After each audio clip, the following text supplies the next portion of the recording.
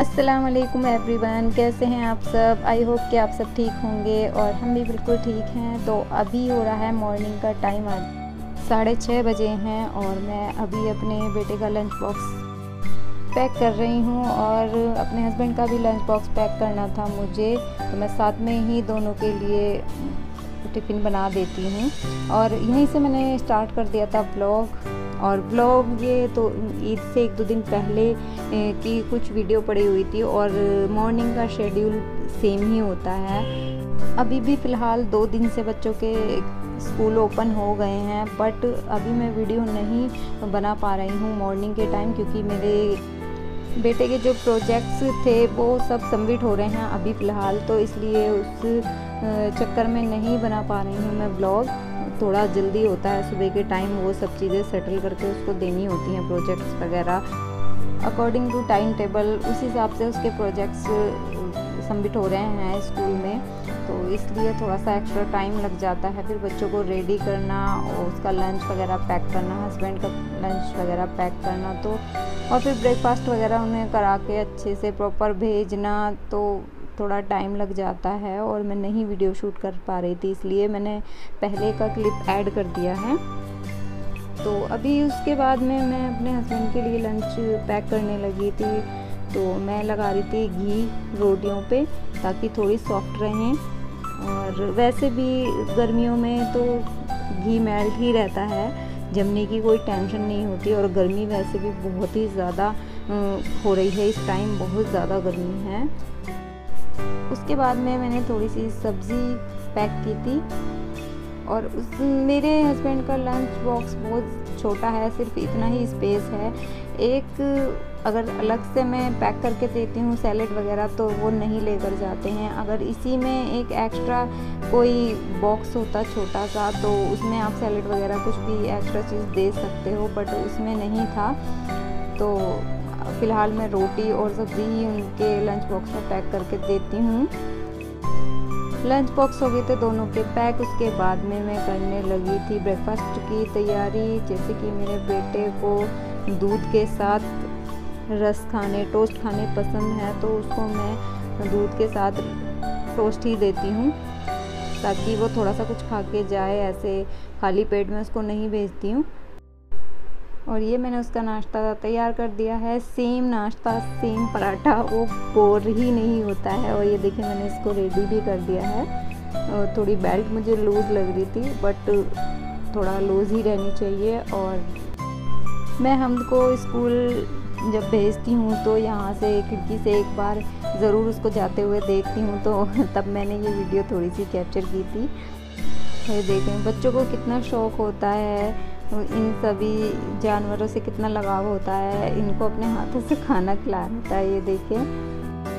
और शायद से जिस दिन की ये मैंने वीडियो ली है, उसी दिन इस बकरी की कुर्बानी हो गई थी।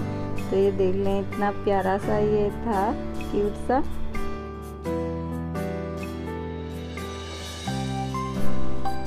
कुछ देर विंडो पे खड़े होने के बाद में थोड़ा रिलैक्स सा फील होता है। बहुत ही ज़्यादा रिफ़्रेशिंग सा वेदर हुआ रहता है सुबह के टाइम बहुत ही प्यारी प्यारी हवा चल, चली हुई होती है आजकल।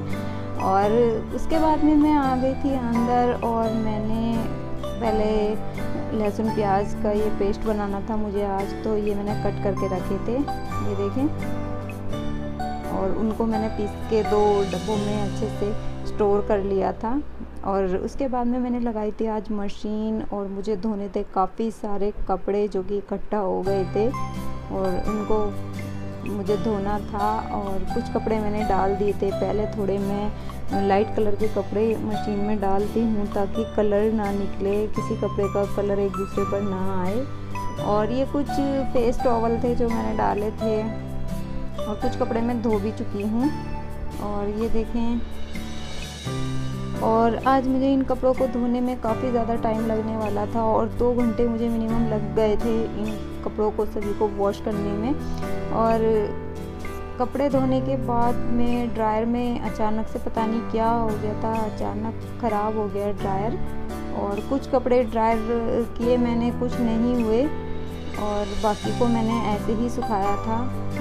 मशीन में शायद कुछ गड़बड़ हो गई थी, फिर मेरे हस्बैंड ने उसे ठीक किया था, खोल के देखा था, उसमें कोई नहीं हो गई थी, कोई पार्ट्स उसका कट हो गया था अंदर से तो फिर उन्होंने वो ठीक किया था।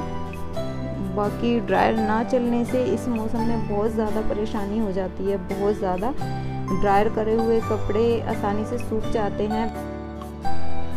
और ऐसा नहीं है कि मैं अगर कपड़े धोती हूँ तो सिर्फ़ कपड़े ही धोती रहती हूँ। अंदर से भी, रूम में से सारी क्लीनिंग वगैरह मैं साथ के साथ करती हूँ। सिर्फ़ मोप मैं सबसे लास्ट में लगाती हूँ, पोछा मैं सबसे लास्ट में लगाती हूँ। और ये देखें, और इतने सारे कपड़े मैंने वॉश किए थे। और ये ड्रायर होने के बाद लास्ट में कुछ कपड़े रह गए थे ड्रायर होने के लिए, जो कि मशीन में पता नहीं कुछ ख़राबी हो गई थी। तो ड्रायर नहीं चल पा रहा था प्रॉपर इसलिए मैंने मशीन को बंद किया था और उसके बाद में थोड़ी देर पहले मेरे हस्बैंड ने उसको चेक किया मशीन को, फिर उसका पार्ट्स लेकर आए थे शाम में और तब इसको ठीक किया था। ये देखें ड्रायर का कोई पार्ट ख़राब हो गया था तो वो लेकर आए थे और उसको ठीक किया था फिर से और मशीन ठीक हो गई थी एकदम। कपड़े धोते टाइम और भी ज़्यादा गर्मी लगने लगती है। और इसके बाद जैसे ही मेरे कपड़े फिनिश होने लगते हैं और लास्ट में मैं नहा कर आ जाती हूँ, मैं मैं भी अपने कपड़े वॉश कर देती हूँ, मैं कोई कपड़े बाकी नहीं छोड़ती हूँ, फिर सारे कपड़े अच्छे से वॉश करने के बाद फिर कुकिंग करती हूँ मैं।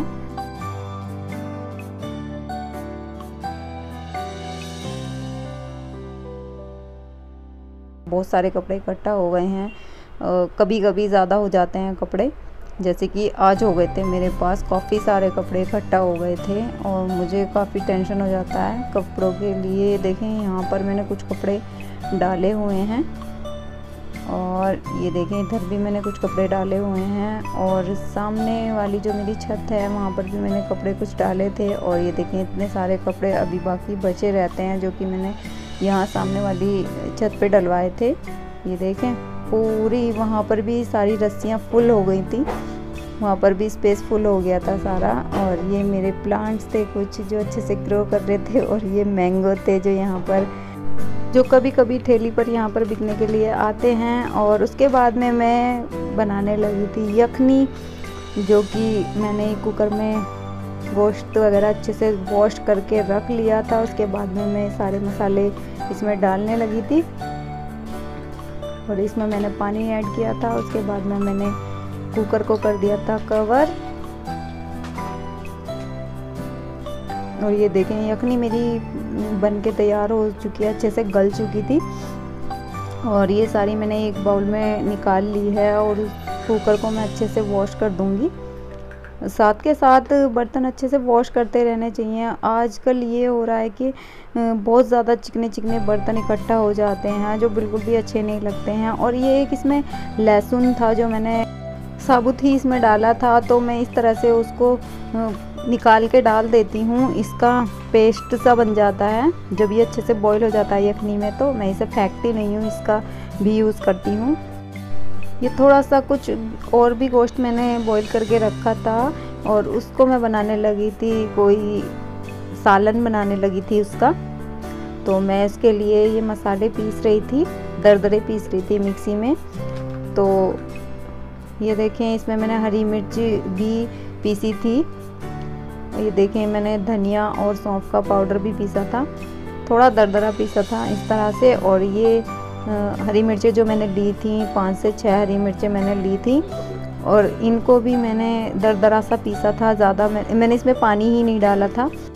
सबसे पहले मैंने इस डिश में कुछ खड़े मसाले डाले थे ऑयल में और उसके बाद में मैंने बीफ का ये गोश्त जो मैंने बॉईल करके रखा था उसको मैंने इसमें फ्राई किया था, उसके बाद में ये सारे मसाले मैं इसमें ऐड करती जा रही थी और प्याज भी मैंने कट करके डाली थी और लाल मिर्च मैंने इसमें बिल्कुल भी नहीं डाली है। हल्की सी मैंने इसमें हल्दी ऐड की थी, बहुत हल्की सी और सॉल्ट मैंने थोड़ा सा डाला था और बाकी इसमें कोई भी मैंने ज़्यादा स्पाइसेस यूज़ नहीं किए हैं। और ये मेरी फ्रेंड के यहाँ से आई थी बिरयानी और दलीम।